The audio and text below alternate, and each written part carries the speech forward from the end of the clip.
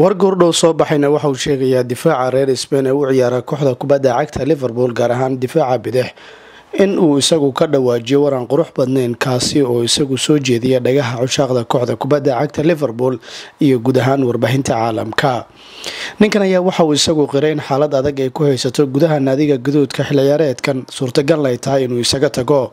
Ninkan bidixda uga ciyaara una dhashay wadankaasi spain lagu magacaabo alberto morena ayaa isagu waxauu gebi ahaanba sheegay inuusan ku faraxsanayn xaalada guud haatan ku jiro islamarkaana uu kaga hoos ciyaarayo tababare yurgan colob ninkan waxa uu sheegay in marka la gaaro bisha janwari uu dhageysan doono dalabyo kala duwan oo horyaala oo suurtagal ay tahay in kooxda uu isaga tago. Alberto moreno oo isagu warbaahinta la hadlayay ayaa waxauu yidhi xaqiiqadu waxay tahay ma dareemayo xaalad wanaagsan. Isagoo hadalkiisa sii wata wuxuu yidhi run ahaantii waa waxa iska dabiiciya laacibiin badan inay waqti fiican ku jiraan. Laakiin ani ahaan ma dareemayo nafis islamarkaana aad baan u dhibaatoonaya. Ima cajabinin qaabka uu ila tacaamulay yorgan colob tababaraha kooxda. Isagoo hadalkiisa sii wata wuxuu ku soo gabagabeeyey mustaqbalkiisa. Mustaqbalkayga waan ka fakarayaa runtii waxaan haystaa fursado aan ugu laaban karo spain. Bisha januari marka la gaaro waxaa jira dalabyo kala duwan oo haatan ii taagan.